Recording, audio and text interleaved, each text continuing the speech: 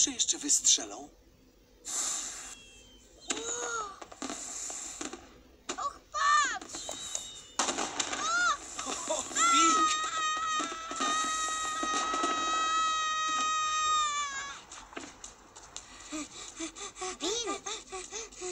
Co się stało?